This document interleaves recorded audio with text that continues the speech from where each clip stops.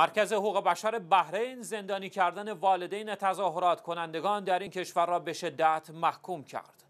مرکز حقوق بشر بحرین در صفحه رسمی خود در توییتر با اشاره به اقدام رژیم آل خلیفه در زندانی کردن والدین تظاهرات کنندگان در این کشور این اعمال را غیرقانونی، غیر انسانی و محکوم دانست. این مرکز در صفحه رسمی خود در شبکه اجتماعی توییتر نوشت رژیم بحرین والدین تظاهرات کنندگان سیاسی که به طور غیرقانونی کشته شدند را بازداشت و زندانی کرده است. مرکز حقوق بشر بحرین اقدامات غیر انسانی خاندان آل خلیفه علیه شهروندان بیگناه این کشور را به شدت محکوم کرد.